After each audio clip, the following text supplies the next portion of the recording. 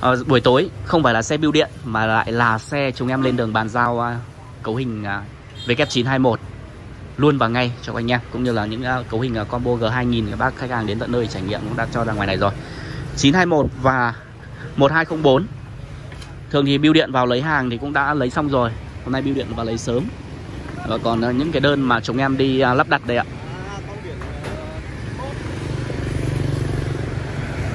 Ở trong những video này thì chúng em à, luôn luôn gửi những cái tình cảm và những cái sự tâm huyết, nhiệt huyết, yêu nghề và đem lại những cái à, sản phẩm tốt để anh em thỏa mãn đam mê.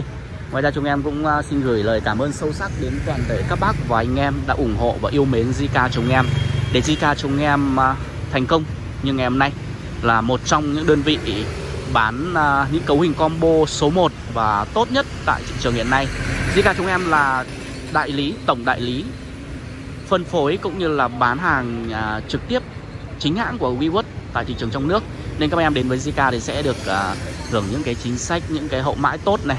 Đấy, ngoài à, những cái à, chất lượng sản phẩm ra thì cái hậu mãi sau bán hàng thì các em sẽ nhận được. Khánh ơi em buộc à, buộc đôi loa lên cho anh này đi. Hiện tại bây giờ đang là hơn 4 giờ À em xin lỗi hơn 5 giờ một chút. Hơn 5 giờ buổi chiều Hà Nội. Long Biên Long Biên Long Biên uh, với những cái uh, không khí uh, rất thoải mái như thế này. Và cung đường này của chúng em rất rộng nhé. Không hề có hiện tượng tắc đường. Anh em uh, đi xe to đến cũng được. Ừ, xe tải này.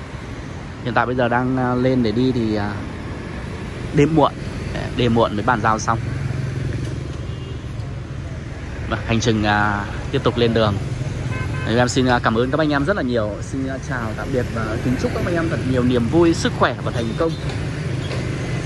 Yêu âm thanh à, muốn cần tư vấn hãy đến với Zika Hãy dành cho Zika chúng em những uh, uh, tình cảm uh, từ uh, xem video tặng like này. Đấy. Xe, chia sẻ lên các uh, trang hội nhóm Và cần tư vấn liên hệ theo số hotline chúng em sẽ tư vấn cụ thể hơn. Chốt đơn như thế này để chúng em lên đường đây à, Xin chào tạm biệt và hẹn gặp lại các anh em vào những à, video clip tiếp theo.